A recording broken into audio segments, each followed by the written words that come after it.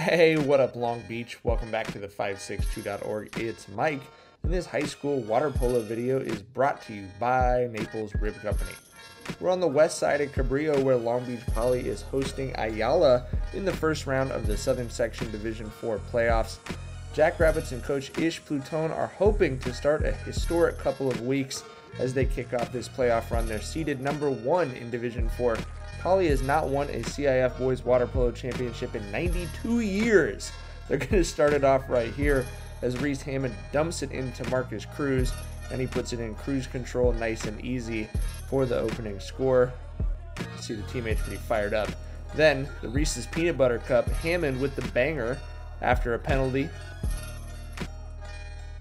And then on a man up opportunity, great ball movement to get it to Bo Wade. And Poly's up 3 0 just two minutes into this game. This is how you want to start a game if you're the number one seed in a bracket. You want to make it decisive, you want to have some fun. They would need more than scoring, though. They do need goalie Charlie Lemus to step up this postseason, and if the first round was any indication, he's going to do it. Reese's fast break bar here with the nougat whistled for the foul. They tried to take him down, headed to the net. And it's Cruz who just tucks it in there to put Poly up 4 0.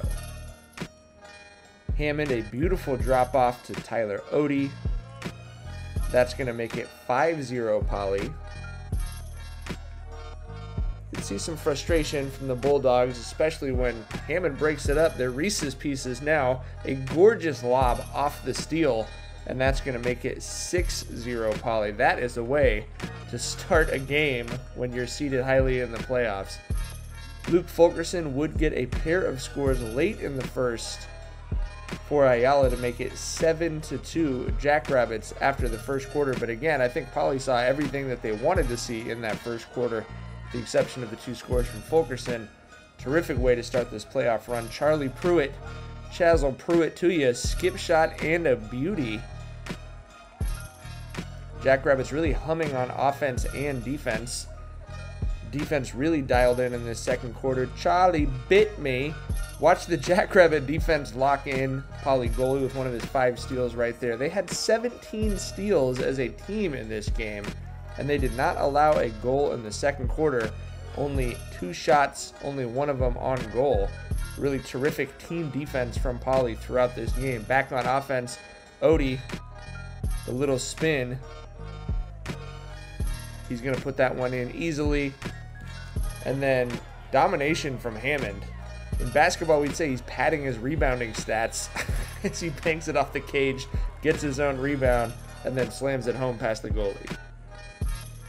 Pruitt is going to smash one in. Jackrabbits had plenty of touch shots too, but they definitely were not tentative. They were showing the what you want to see in the playoffs, which was being willing to just go right at the goal. Flip from Wade to Colin Suhu. He will draw the penalty. And it's Odie who's going to put it home here. And then look at this absolute skee ball shot from Odie. Ricochets up and rolls around and in. Odie likes it and the bench absolutely loves it. this team is having a lot of fun right now, a lot of fun to cover them this game. They did keep the foot on the gas pedal. Odie is going to get the steal here. He's going out wide to Wade. And he's just going to wade right in. No need for the pass. Lobs it right over himself for an easy score. Jackrabbits looking good on offense, looking good on defense. Wade is going to finish with the hat trick, as did four Jackrabbits in this game. And then this is what they want to do. This is poly water polo in these playoffs. A block by Suhu. Pruitt's going to pick it up. He's looking to Suhu the whole time as the defense is collapsing on him towards the middle. Flips it over. Suhu pulls left. Easy goal to the right. Beautiful textbook counterattack water polo. The Jackrabbits doing everything they wanted to do in this one. This time it's going to be Suhu with another block. He's going to feed it ahead to Nico Song. And Song is looking for Hammond, the Jackrabbit leader, the whole way. Hammond finishes with four goals, two assists, two steals. Spared no expense, really. And when life gives you Lemus, yeah, that's rad, actually. 10 saves and 5 steals for the goalie.